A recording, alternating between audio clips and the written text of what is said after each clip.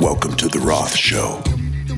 This makes no pretension about who, what, where, when, how, why, or what it is. This is a opposite of proprietary formula. And that's part of the reason that we're up here, because everything today is proprietary horseshit. Proprietary comes from the Latin proprietariatoradaji, which means look under the hood. Exactly. I told you the story about getting swindled. When I bought Russ, my dog, I don't think I heard that story. No. probably my closest friend. And no, dogs are so much more loyal than people. No, dogs are full of shit too, especially Russ. Russ, much like myself, could learn a bad habit in one second. and if I know you for 10 minutes, I'll know how to swindle you out of that optional bad habit, like those cookies, those bad habits. I'm gonna, I'll play you like a fucking tune. And you will die to give me more cookies. More red. I was to say Red Bull, but you know what? This is better than Red Bull because this looks like the color of gasoline.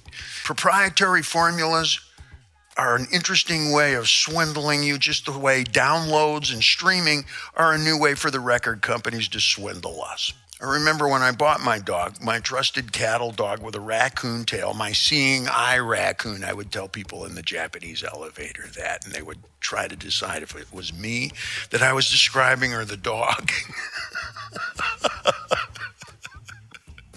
I got Russ from a farm up near Fresno. Farmer who sold him to me says, uh, "Hey," uh, looks at me. You can tell he thinks he's a lot smarter than me because I'm a musician. It's clearly that I'm a musician. He probably thinks he's a little bit smarter than he actually is. He says, uh, "Go in the back. Dog's tied in the back. You want the dog's thousand bucks." I walked in the back. I saw the dog. There's Russ. I go, "Hey, boy." Dog looks up at me and goes, "Hey, I know you." I know what you're thinking, and I'm thinking the same thing. A thousand bucks for a fucking talking dog? Dog looks at me and says, I'm a national champion. I've won three nationals. Fucking buy me now. you better fucking believe it. Doesn't take a can of Irn-Bru to figure this one out. So I ducked down. Come on, boy. I get this done as fast as I can. Took him out there. He says, So how much for the dog? Farmer goes, I can tell you two getting along. She says, We'll have to charge you $200 more, $1,200. Walk the dog off, put him in your pickup truck, drive away, friends.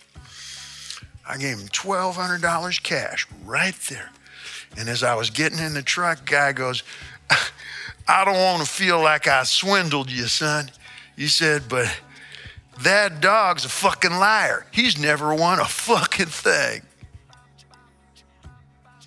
people like hearing stories about my dog Russ, and you know, sometimes I turn left and keep on going on that kind of a story of a tangent of a thought. And many people don't know, you know, you can probably go back and you can see in some of the films and stuff that Russ had a prosthetic leg.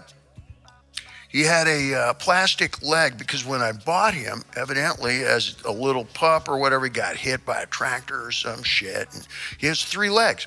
And uh, he was very used to popping around on all three. You've seen that before, you know. And uh, didn't bother him none, but it was a bit unsettling, to, you know, for people to see a three-legged dog or whatever. And uh, we got him a little plastic leg and so forth. But in the days before we started walking him around, filming him around, I just let him bounce around on his three legs and stuff one day. And um, I, uh, uh, my last girlfriend, I talked about one of my last girlfriends.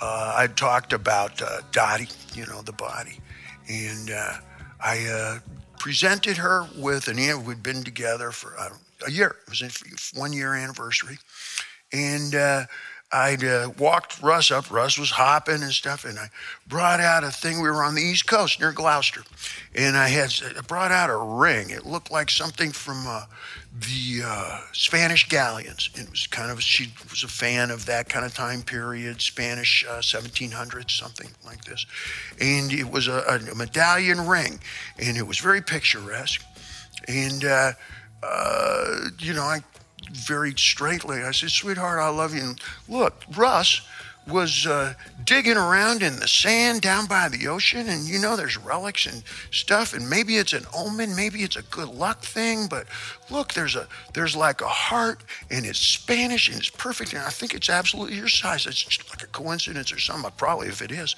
But try it up, because he was digging and digging, and shit, there it was, like buried treasure. It made me think of you, sweetheart. I gave her the ring and she put it on and it fit perfectly. And she looked at me because there was more Dottie than just the body. And she said, David, I do love you. But how does a three legged dog dig? Anyways, I'm alone now. Some of you are thinking, Dave, that stuff's not natural. It's not organic. Guys, my top six teeth aren't natural or real either, okay?